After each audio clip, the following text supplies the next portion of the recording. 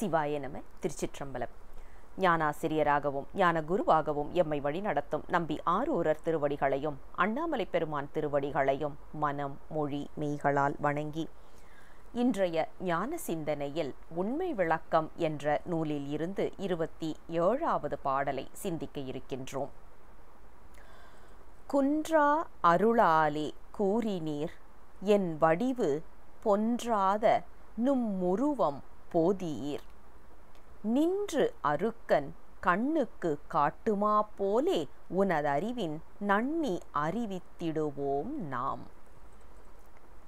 இந்த பாடல் அதாவது இருபத்தி ஏழாவது பாடல் நமக்கு வந்து மாணாக்கர் நான் யார் என்று எனக்கு விளங்கிடுச்சு சாமி. ஆனால் அதே நேரத்தில் நீங்கள் யாருன்னு எனக்கு சொல்லி அருள் செய்யணும் அப்படின்னு குருநாதரின் திருவடிகளுக்கு விண்ணப்பமாக வைக்கின்றார். அதற்கு குருநாதர் அத்துவித கலப்பு என்பதை அதாவது ஒன்றாய் உடனாய் வேறாய் என்று சொல்லப்படுகின்ற இந்த அத்துவித கலப்பை நமக்கு அற்புதமாக எடுத்துச் சொல்லி அருள் செய்ய போகின்றார் இந்த பாடல்ல. அதான் பாருங்க குன்றா அருளாலே கூறினீர். இது வந்து மாணாக்கர் குருநாதரை பார்த்து சொல்லுவது. சாமி நான் கேட்ட கேள்விக்கு வினாவுக்கு எனக்கு அழகாக பதில் சொன்னீங்க. அருளாலே கூறினீர். பெருமானுடைய அருள் காரணமா கருணையின் காரணமா எனக்கு அழகாக எடுத்து சொன்னீர் ஏ சொன்னீர்கள். என் வடிவு என்னுடைய வடிவம் என்ன? அதாவது ஆன்ம ரூபம் என்ன? ஆன்ம தரிசனம் என்ன? என்பதை நாம் பார்த்துட்டோம். இப்போ அடுத்தது பாருங்க.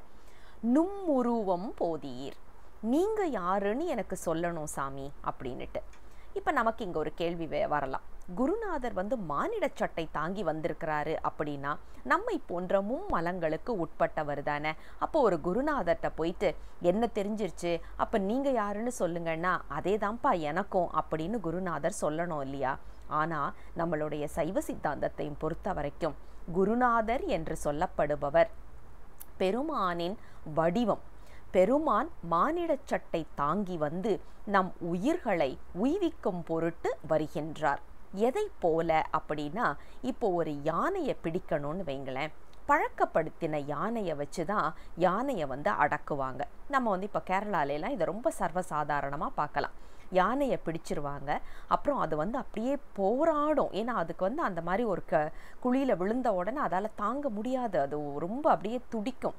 அப்போது பழக்கப்பட்ட ஒரு யானையை அனுப்பி தான் இந்த பழக்கப்படாத யானையை வந்து கட்டுக்கு கொண்டு வருவாங்க. ஏன்னா அதுங்க ரெண்டும் பேசும்போது தான் அந்த அந்த பாஷையில் தான் வந்து அந்த யானை வந்து அடங்கும். அதே போல் நாம் வந்து மலத்தில் இருக்கின்றோம். நமக்கு வந்து பெருமான் யோசிச்சு பாருங்க இன்னைக்கு வந்து சாமி நம்ம முன்னாடி மான் மழுவோட பாம்பு எல்லாத்தையும் வச்சுட்டு நம்ம முன்னாடி வந்து நின்னாருன்னா நாம் முதல்ல அவர்கிட்ட கேட்குற கேள்வி என்னவா இருக்கும்? நாடக ஷூட்டிங்லேருந்து நேராக வந்துட்டிங்களா சாமி? அப்படின்ற மாதிரி தான் ஒரு கேள்வி கேட்போம். அது சாமிங்கிறதே நாம் உணர மாட்டோம். உணர முடியாத ஒரு நிலை. பாம்போட ஒருத்தர் வந்தார் அப்படின்னா அங்கேருந்து உடனேயே ஓடி தான் போவோமே ஒழிய அங்கே நின்று அவரை ஆராய்ச்சி பண்ணிட்டு இருக்க மாட்டோம். மான்மழுவோட ஒருத்தர் வந்தாருன்னா கொஞ்சம் பயம் கம்மியாக இருக்கும். ஆனால் எந்த ஷூட்டிங்லேருந்து வந்திருக்கீங்கன்னு கேட்போம் அப்போ நமக்கு அந்த பக்குவம் இல்லாததுனால பெருமான் நேரடியாக வர முடியாது. யாருக்கு எப்படி சொல்லணுமோ அப்படித்தான் சொல்ல வேண்டும். அதான் சொல்லுவாங்க தெரியுமா? ஆடுற மாட்டை ஆடி கறக்கணும் பாடுற மாட்டை பாடி கறக்கணும்னு சொல்லுவாங்க. அதே மாதிரி யாரை எப்படி வழிக்கு கொண்டு வர வேண்டுமோ பெருமானுக்கு நன்றாக தெரியும். அந்தந்த உயிர் பக்குவங்களுக்கு ஏற்பதான் குருநாதராக பெருமான் நமக்கு குருநாதர்களை அனுப்புகின்றார். அப்ப பெருமானே குருநாதர் வடிவம் தாங்கி வருவதாகத்தான் நமது நம்பிக்கை. அதுதான் உண்மையும் கூட. அதனால தான் இங்கே அந்த மாணாக்கர் குருநாதர்கிட்ட போயிட்டு பெருமானே எனக்கு நீ யார் என்று காட்டு என்று நம்ம குருநாதரின் திருவடிகளுக்கு விண்ணப்பமாக வைக்கின்றார். அதுக்கு குருநாதர் சொல்கிறாரு இந்த பாடலில் வந்து வினா விடை ரெண்டையுமே வச்சு அருள் செய்கிறாரு ஒரே பாடல்லையே அதுக்கு குருநாதருடைய பதில் பாருங்க நின்று அருக்கன் அருக்கன்னா சூரியன் நின்று அருக்கன் கண்ணுக்கும் காட்டுமா போலே உனது அறிவின் நன்னி அறிவித்திடுவோம் நாம். அதாவது ஒரு சூரியன் வேறாக நின்று பொருட்களுக்கெல்லாம் வேறாக நின்று இது இன்னென்ன பொருள் என்பதை நமக்கு எப்படி காட்டி அருள் செய்கின்றதோ ஒரு சூரியனின் ஒளிக்கதிர்கள் எப்படி நமக்கு அதை காட்டி அருள் செய்கின்றதோ அதுபோல உனது அறிவில் வேறாக நின்று உனக்கு நான் யார் என்பதை உணர்த்துகின்றேன் அப்படிங்கிற குறிப்பை நமக்கு சொல்லி அருள் செய்கின்றார். அதாவது சைவ சித்தாந்தத்தை பொறுத்த வரைக்கும் மிகவும் முக்கியத்துவம் வாய்ந்த குறிப்பு அப்படின்னு சொன்னால் அது அத்துவிதம் என்று சொல்லப்படுகின்ற ஒன்றாய் உடனாய் வேறாய் என்று சொல்லப்படுகின்ற நிலைப்பாடு.